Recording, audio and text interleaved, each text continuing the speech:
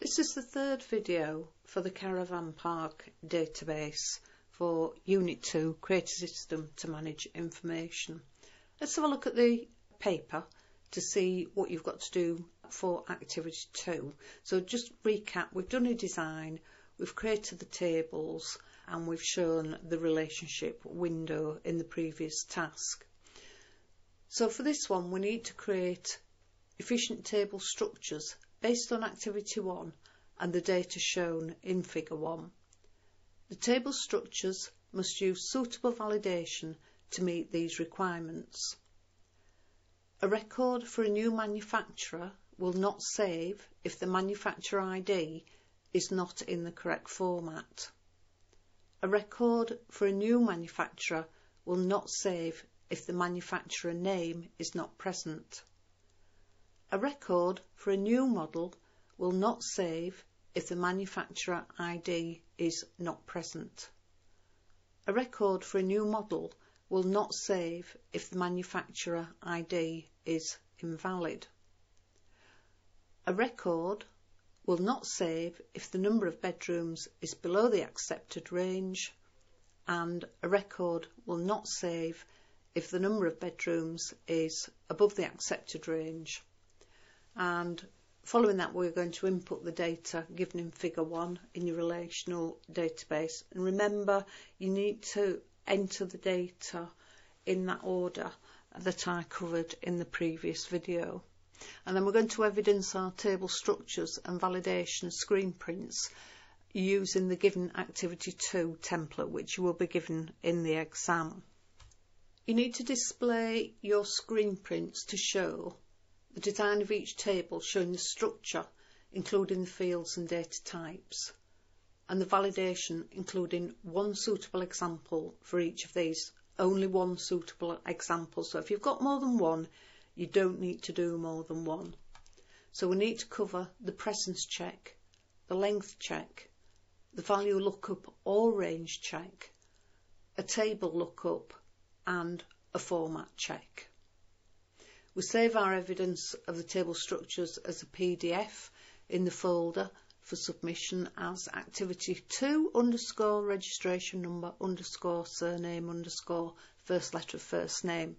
Now you have got 45 minutes for this activity but providing everything's gone okay so far you should be able to get through this I think a bit quicker than 45 minutes and then you can use that time maybe on something that you're having some difficulty with. So let's just have a look now at the validation that we're going to set up. So the first one, a record for a new manufacturer will not save if the manufacturer ID is not in the correct format. I've opened up TBL manufacturer. Here we can see the format, the input mask.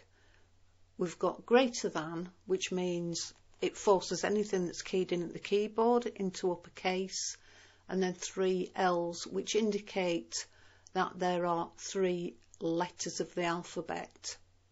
The next one is a record for a new manufacturer will not save if the manufacturer name is not present. So again we've got TBL manufacturer opened and in the validation rule we need to write is not null and in the validation text we need to put some clear indication to the user what's required. So in this case the manufacturer's name must be present.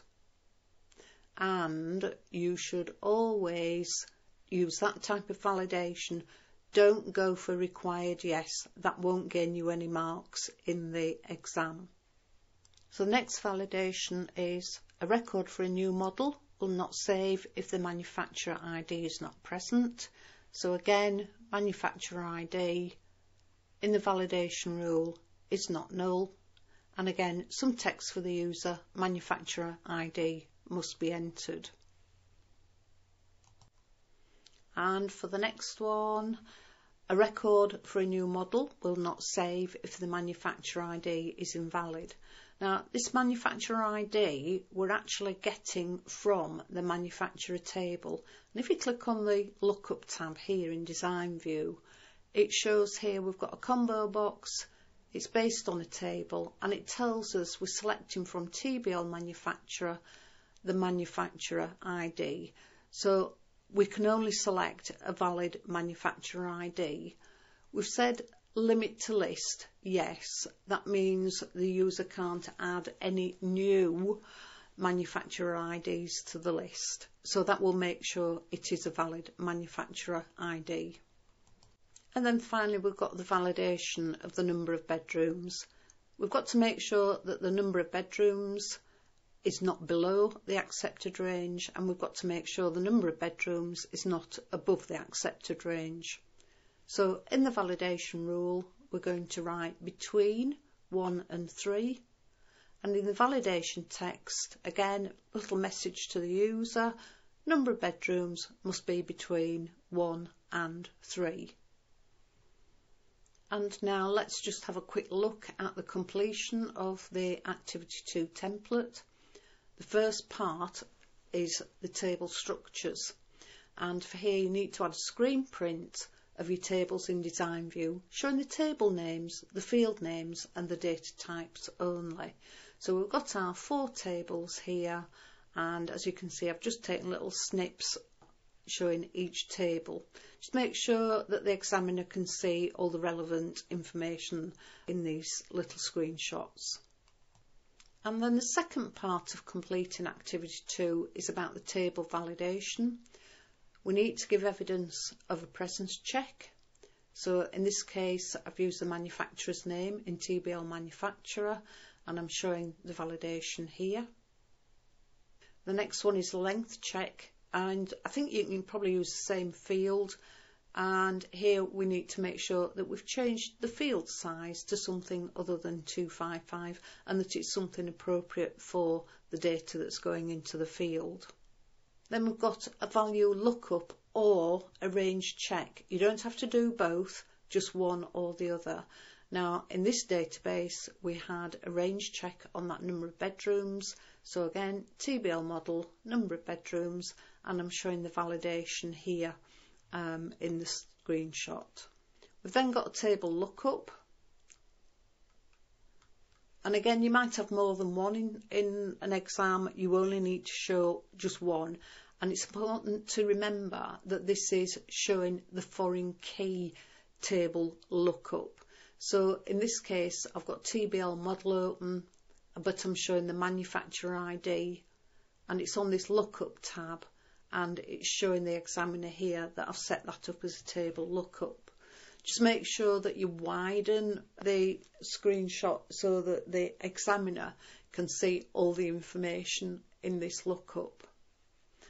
And then finally, we've got the format check. Again, only one format. If you've got more than one in the database, you don't need to do all of them, just one example. So in this case, I've got TBL manufacturer and the format check is I've changed the field size to 3 the input mask there is greater than and then 3 L's. I've also added in is not null to make sure it's not left empty as well with it being a primary key.